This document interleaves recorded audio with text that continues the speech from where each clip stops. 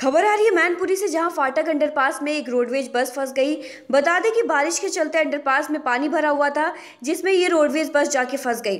वही सूचना पर नगर पालिका के बुलडोजर को बुलाया गया। वही मौके पर पहुँच के बुलडोजर ने बस को बाहर निकाला। जानकारी के अनुसार बीस सवारियों के साथ अंडरपास में ये नगर पालिका की बस फंस गई, जिससे लोगों में हड़कम मच गया।